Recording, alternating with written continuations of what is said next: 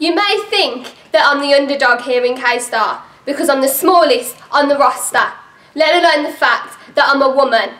But on the 23rd of February at Beefing Kings Heath, I intend on making history when I become the first ever woman to win a Rumble.